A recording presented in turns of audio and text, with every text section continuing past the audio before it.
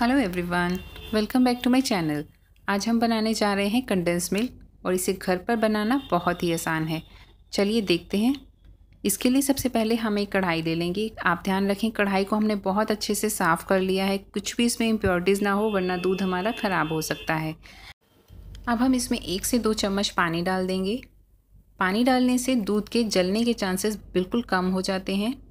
अभी मैंने आधा लीटर दूध लिया है। ये मैंने मलाई उतरा हुआ दूध लिया है। आप चाहें तो फुल क्रीम ले सकते हैं या टोन ले सकते हैं। आप किसी भी दूध से कंडेंस मिल्क बना सकते हैं, लेकिन कंडेंस मिल्क के फ्लेवर में या टेस्ट में या टेक्सचर में बिल्कुल भी फ़र्क नहीं आता। अब ये दूध हम इस कढ़ाई में डाल देंगे और गैस का फ्लेम ऑन कर देंगे। हमें इसे तकरीबन वन फोर्थ रहने तक इसे उबालना है। अब हम इसमें आधा कप चीनी डाल रहे हैं। वेट में नापें तो ये 110 ग्राम के करीब है। चीनी हम स्टार्टिंग में ही डाल देते हैं, क्योंकि जैसे जैसे चीनी मेल्ट होगी वैसे वैसे उसका कैरमलाइज कलर आएगा इसमें बहुत अच्छा से। और जो आप क्रीमी टेक्सचर आप देखते हो मार्केट में मिल्क मेड का सेम वैसे ही घर में भी इसी से ही आता है। अब हम इसे लगातार चलाते रहेंगे। और किनारों पर जो थोड़ी थोड़ा सा जो दूध जम जाता है या जो मलाई जम जाती है, उसे हम साथ साथ उतारते रहेंगे, वरना इसमें दूध में थोड़े से लम्स पड़ सकते हैं या थोड़ा सा लेयर्स आ सकती हैं जो हम बिल्कुल नहीं चाहते। हम इस दूध को मीडियम से हाई फ्लेम पर लगातार चलाते हुए पकाते रहेंगे जब तक कि इसकी क्वांटिटी तकरीबन वन फोर्थ नहीं रह जाती। कंडेंस मिल्क को हम एक महीने तक फ्रिज में स्टोर कर सकते हैं और छः महीने से ज़्यादा हम इसे फ्रीज़र में स्टोर करके रख सकते हैं। और जब भी आपका कुछ मीठा बनाने का दिल हो, जैसे खीर या फिर कस्टर्ड या फिर मिल्क शेक्स इसमें ये थोड़ा सा कंडेंस मिल्क ऐड करिए और उसका स्वाद दोगुना हो जाता है। और ये देखिए, काफ़ी गाढ़ा हो चुका है। तकरीबन इसकी क्वांटिटी आधी हो चुकी है। तो अब हम इसमें डाल देंगे एक चुटकी बेकिंग सोडा और ये देखिए बेकिंग सोडा डालते ही इसमें काफ़ी सारी झाग बन जाती है और अब हम इसे लगातार चलाएँगे।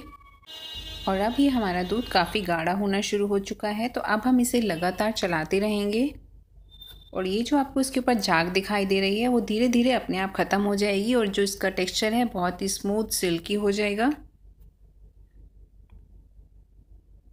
बस हमें ध्यान रखना है कि इसे लगातार चलाना है और इसके किनारों से हमें दूध छुड़ाते रहना है, इस तरह से स्क्रैच करते हुए।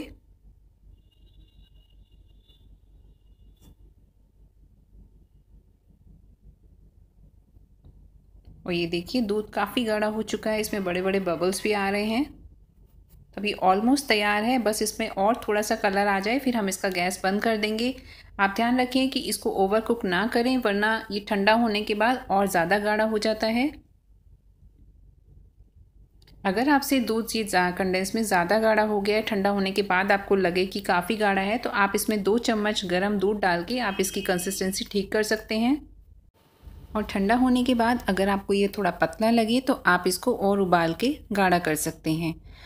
और कंडेंस मिल्क से आइसक्रीम बनाना बहुत ही आसान हो जाता है। अगर आप मार्केट जैसी वनीला आइसक्रीम बनाना चाहते हैं तो विप क्रीम में सिर्फ़ कंडेंस मिल्क ऐड करिए और उसे अच्छे से विप कर लीजिए। तो आपकी वनीला आइसक्रीम बहुत ही अच्छी तैयार होती है।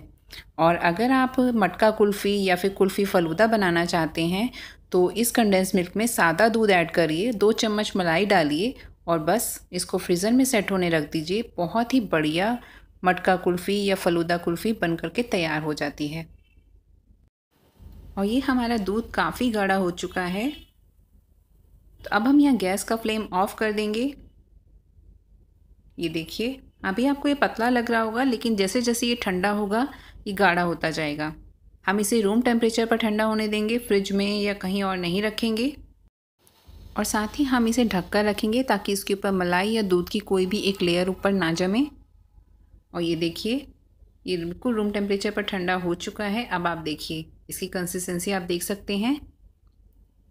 ये बिल्कुल परफेक्ट कंडेंस मिल्क बन करके तैयार है।